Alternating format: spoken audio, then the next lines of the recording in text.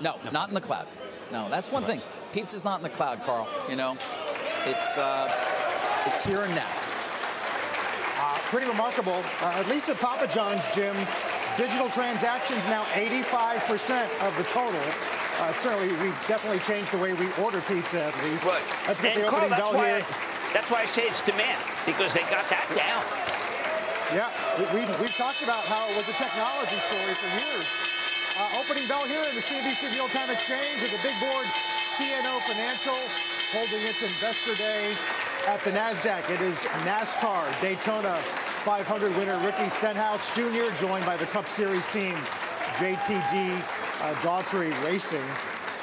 Jim, the host of consumer names this morning uh, not doing so well. I mean, that's the pizza names, uh, but Keurig Dr. Pepper, Dollar General, Wayfair, wider than expected loss. What do you think's going on? Yeah, I, well, the Dollar General said that there were some storm issues, but I, I do think that this is a, a rebellion against goods.